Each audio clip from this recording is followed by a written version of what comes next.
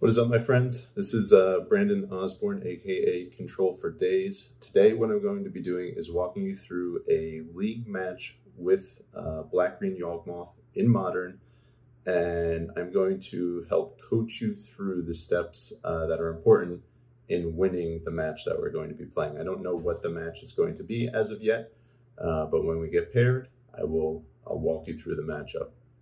Uh, a couple things before we get started. First and foremost. Uh, if you're interested in playing this deck and you want to learn more about how to approach each matchup, uh, check out the sideboard guide that I have in the description below. It not only provides you with the ins and outs of every matchup, but it will also give you uh, key cards and key lines that are relevant to win the matchups. Uh, second thing, uh, this page is new, uh, so if you're watching this video, please hit the subscribe button, give me a thumbs up, leave me a comment. Let me know what you liked about today's video, uh, what you think I could do better in the future. Ultimately, I want to make this a channel where you can come to not only get strategy, but to enjoy the content as well. Uh, and lastly, uh, not only do I have a sideboard guide in the description below, but I also have uh, a stat sheet that provides you with the stats in terms of my uh, results in every matchup that I've had up to this point with the deck in terms of not only by deck list, but by uh, matchup as well. So I don't think I said that. Uh, it didn't come off the tongue exactly the way I planned to, but you get the idea. So that link's in the description below. Feel free to access that and check it out. The list we're running today is the list I've had the most success with based upon the results of that spreadsheet that I talked about. Uh, it varies from the prominent lists that are being played right now slightly in that um, my list is running two grist in the main, one in the board, as opposed to four in the main. And I'm also running two endurance in the main uh, in place of grists three and four in the main deck. Uh, this list has produced about a 73% win percentage over over 250 matches. Uh, so it has been performing very, very well. And that is the reason I am sticking with this as opposed to switching over to those other lists. Um, besides that, this is my first league with the uh, card Boseiju. Hasn't come up yet, uh, but I am hopeful that it will help to boost matchups just a little bit because I think it's a really powerful card. I want to test two in the main deck, but I was only able to get my hands on one, which is why you're only seeing one today. Um, but once I have some uh, some games and matches in with two in the main deck, I'll let you know what I think about that as opposed to one. Uh, let's go to the league. We are, this will be our third match in this league. Uh, it's only going to be the second match that we've played. Uh, the first match, uh, we had some technical difficulties. Unfortunately, when you're running parallels on a Mac, sometimes you get dis disconnected and you can't get back in. So that is what happened there. We didn't actually play that match. We connected and then got disconnected, and that was it. Uh, our second match, we played against Death and Taxes, which was an easy 2-0.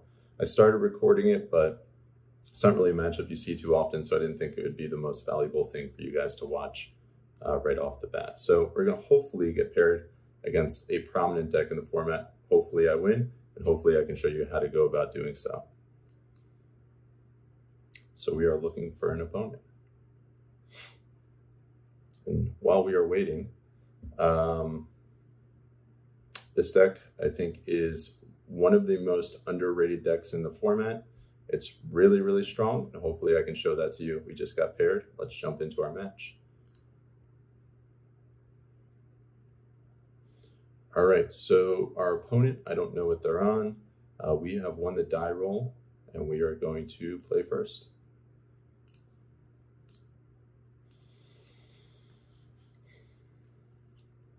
All right, so gladly we were playing against a Lurrus deck, which means this is probably a tier one deck or, or something that is very prominent in the metagame.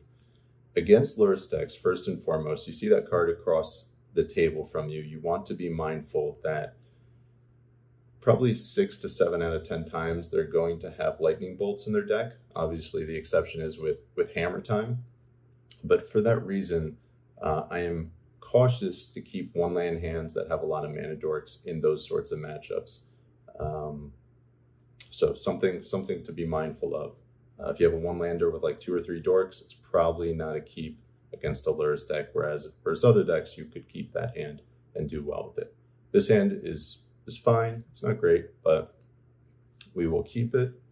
Uh, this hand lines up better against like a Death Shadow or um, or like a Black Red Rock deck as opposed to uh, Hammer Time here. So we're gonna lead Tomb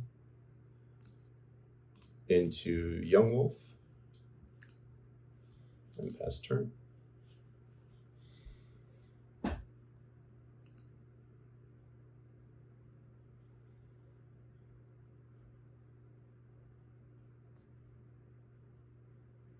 All right, so it's actually burn. Uh, so shocking ourselves on turn one doesn't feel great. Um, I guess this is, could also be the white red land destruction deck, um, but I'm going to hedge that it's burn right off the bat.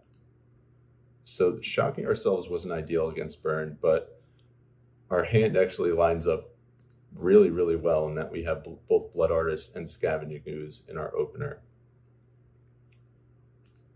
And Endurance against Dragon's Rage. And this is my first time drawing Boseiju. Trying to think. So if it's Burn, that card is super relevant against Eidolon. So I think I'm going to hold it in my hand and fetch and we are going to get a basic forest. And I think the game plan here after an attack is to develop our mana uh, so we can have endurance up next turn or scavenging ooze to eat something. So we're going to swing. Uh, and not only that, Wall of Roots serves as a blocker. Uh, so if they do cast a hasty creature, we can uh, hopefully prevent that damage.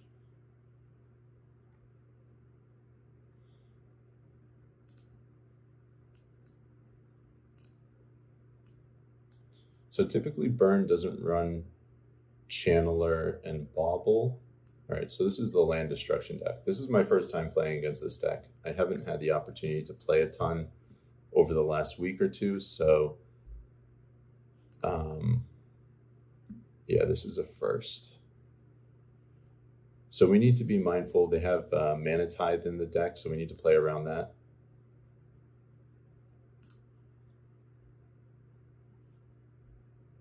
So important to keep that on our radar.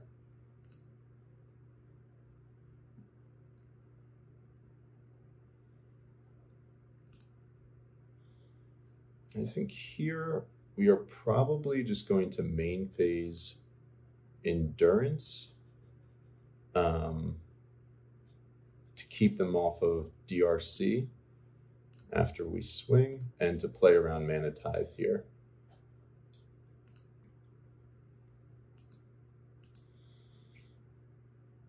And now I guess the question is as well, I don't know this exact list, but the consideration is do they have land destruction that would make us want to fetch basics over non-basics? Do they have Ghost Quarter? Do they have um, I forget what the card is called, where they sacrifice it to kill to destroy a, a non-basic. Um, I think we're going to fetch Overgrown Tomb again. We're going to shock again.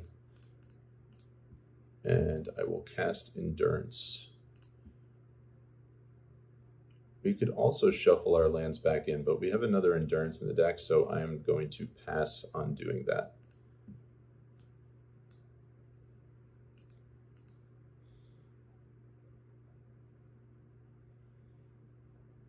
So drawing a land there was actually really strong. That's kind of what we wanted.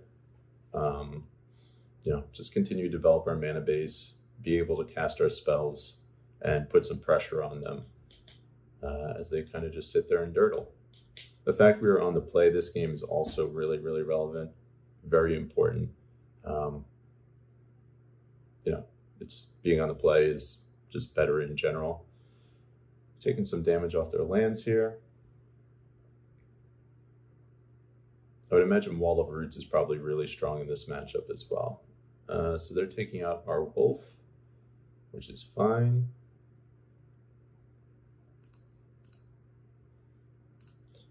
Actually, don't know what the second half of this card does. Destroy all lands. Dangerous.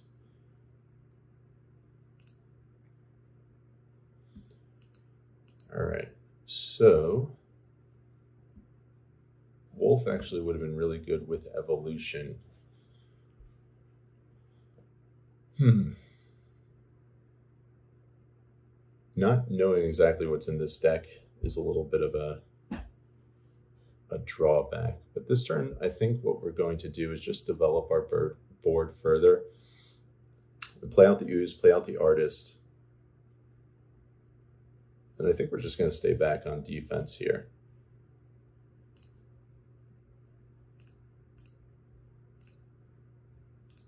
Um, and I'm going to play the artist out first.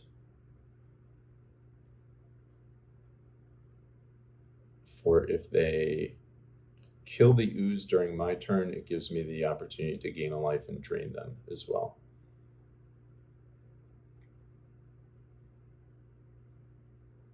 Oh, I forgot about that. I mentioned it earlier and then I just completely forgot about it. Duh. Yes, that was a mistake.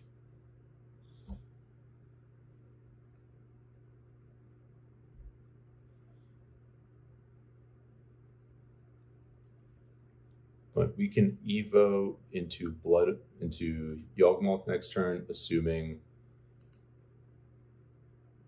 um,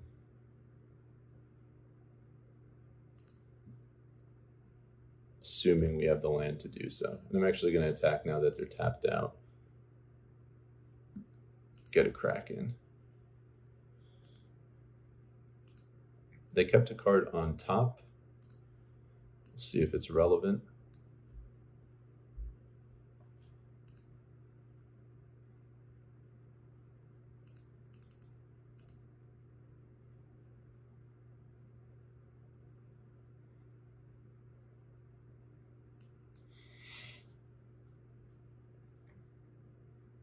Playing this matchup a little blind. I really don't have an understanding of what's in their deck, so my lines might be a little off here. Okay, so they have Saga in the deck, which is good to know about, which makes sense.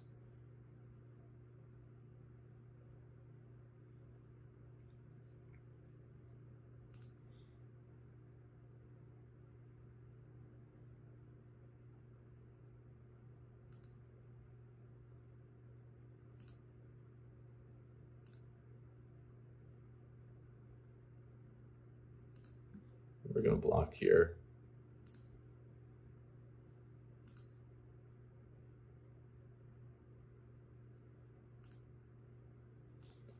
All right, so we could play around Mana Tithe. Um, but I really don't think I'm going to. I think I think we're going to Evo away the Wall of Roots to get a Yawgmoth. And I think we're just going to try to kill him, basically. Um, actually, I'll keep the Endurance back here, too.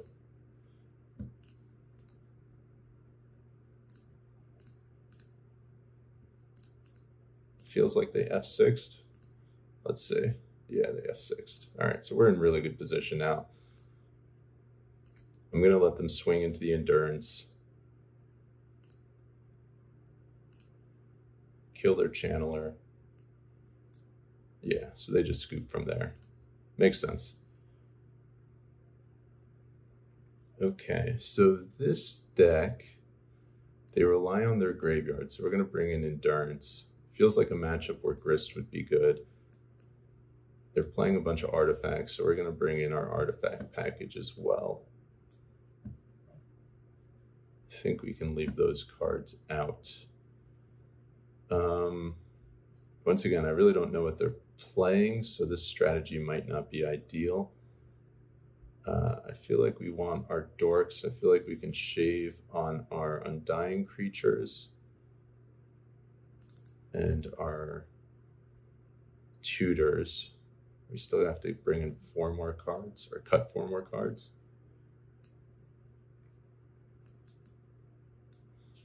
Hmm. Wall of Roots is really, really strong.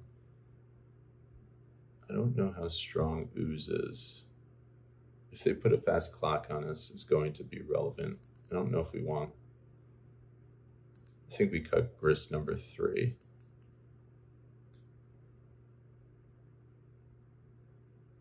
Hmm. Maybe only three endurance as opposed to four. And we'll shave, I think, one more Evo. So it feels bad getting that countered with a Mana Tithe. And maybe we'll shave one Force of Vigor. So we'll try that. I don't know. I think I probably wanted both Force of Vigors, but we'll see. See how this plays out.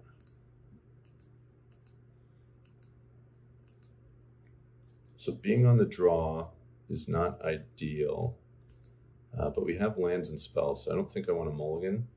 I don't know how well this is going to pan out, given the fact we don't have any mana dorks, and we're on the draw, but we'll see. Sentinel, our hand lines up pretty well against that. Uh, that's a really good draw. We're going to play Catacombs to play around land destruction. Targeted land destruction, that is. I don't know if they have any, but that's what we're doing.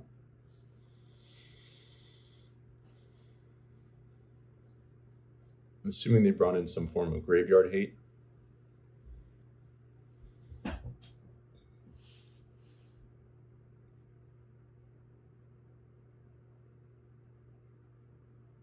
This deck is interesting. It won a challenge, I think, two weeks ago, week and a half ago. It seems to have been popular since then. I really haven't played it a ton since this deck was conceived, so um, I don't know that much about it. All right, Pithing Needle. So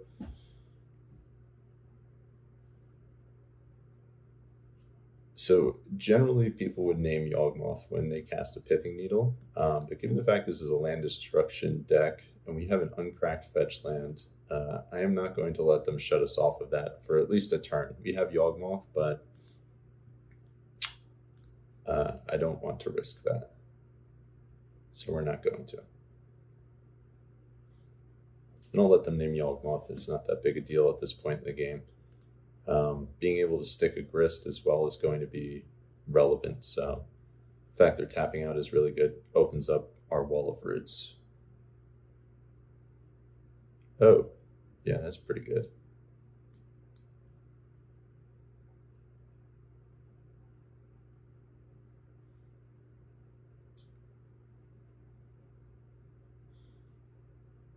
It's unfortunate. Having another fetch land is pretty good. More land, the better. If we can get up to two land, that's where we want to be. Sentinel's fine.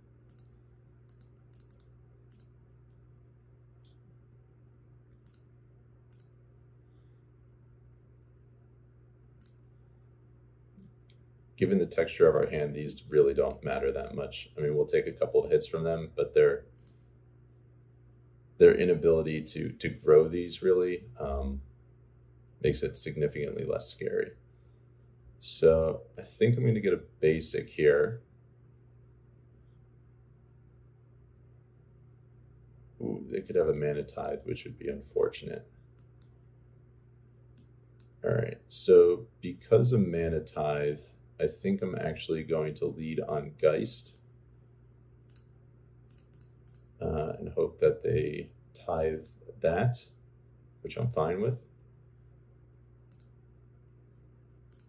And then next turn, I can go wall into Geist if they don't have some form of, of land destruction. But wall is really the most important card that I want to get down.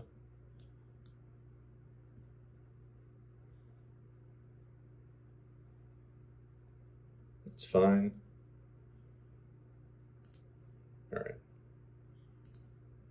That double wall. That's really, really, really, really, good. It's like best case scenario. All right, and now we can chord as well. You can chord for a wolf, Geist next turn, and then Evo into a Yawgmoth. Which actually I don't know if I want to do that.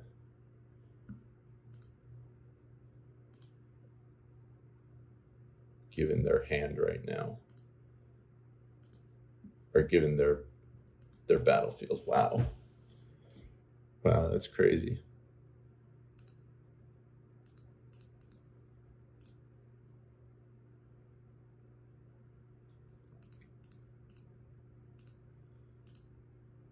All right, so I think they're in pretty big trouble. Um, two, four, six, seven. So we can pay for both Sentinels and still get a Yawgmoth.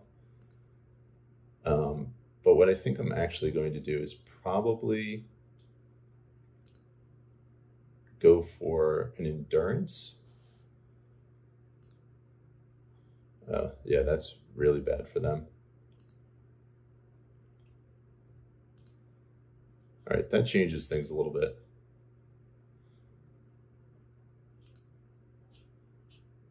Maybe. We'll see. I mean, my hand, I, I, I top decked really well here. Pulling three Wall of Roots is just ridiculous in this matchup.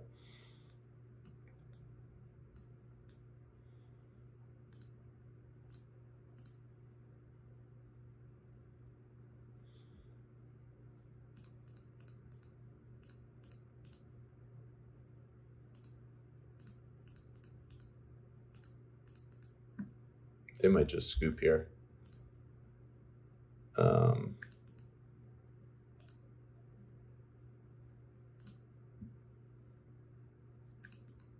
all right, so we're going for three. We're going to pay for those.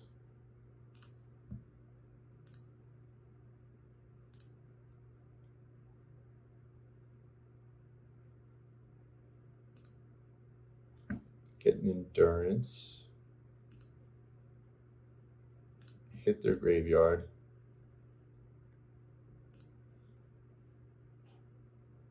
Block the channeler, he's dead.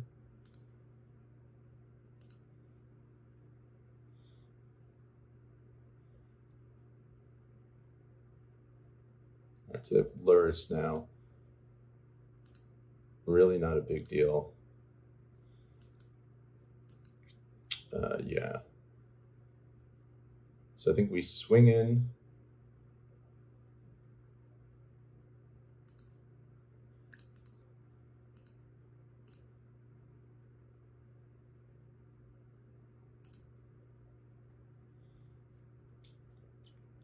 Um,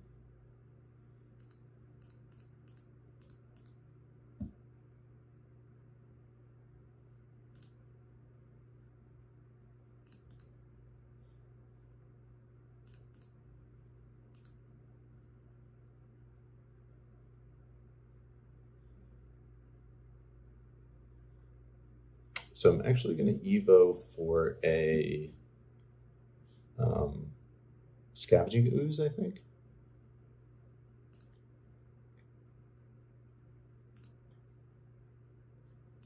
I'm going to get rid of one of our Wall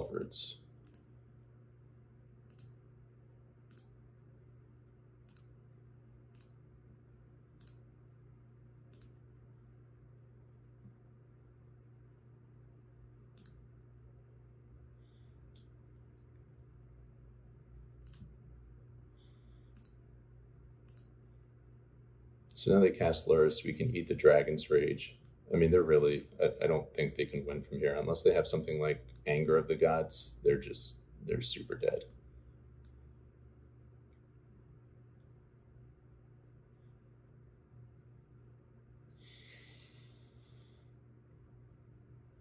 And they scooped. So I would imagine this is probably a pretty good matchup for us. I don't know if oh, they, they have Lurrus, so they don't have Fury. You know, we have a ton of, of mana creatures. We can develop their board. we can develop our board uh, fairly quickly to negate the effects of their land destruction uh, and play around Mana Tithe. Esper Sentinel, inability to grow it, it's really not that scary.